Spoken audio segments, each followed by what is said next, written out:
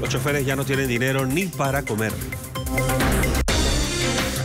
Hoy se cumple el tercer día de este bloqueo aquí en Cuatro Cañadas y en gran parte de la Chiquitanía. Conductores de camiones y diferentes vehículos que se encuentran varados en este punto aseguran que se les termina el dinero para poder alimentarse. Esto genera preocupación a los conductores. Perjuicio para todo, oiga, seguimos ya aquí, ya no hay nada de valor, de nada. A ver, estamos ahí a ver para el pueblo buscar algo de comer, pues no se puede.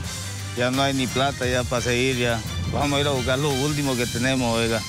Nada, mi amigo, estamos aquí en el bloqueo sin comer, recién estamos comiendo. Nada más, a ver cuándo, cuándo suspenden el bloqueo. Pues. ¿A cómo compra eso? Cinco pesos, a cinco bolivianos. Claro, no queda otra hacer plata para comer, porque si no, ¿qué vamos a comer? Ya se acabó lo beático ya. ¿Está bueno? Bueno, no hay otra, ¿qué más vamos a hacer?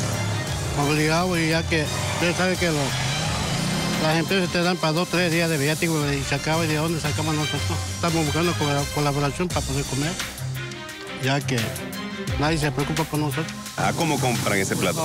aquí nos están dando a 5 bolivianos y en otro lado lo venden a 10, a 12 pesos. ¿Consiguió algo para, para comer, para servirse? Sí, algo he conseguido. Hay algo para comer, pero la sobra del arroz no que están vendiendo, pero conseguí algo para solventarnos, porque ya no tenemos factor económico para... Ya somos tres días que estamos en el bloqueo ya.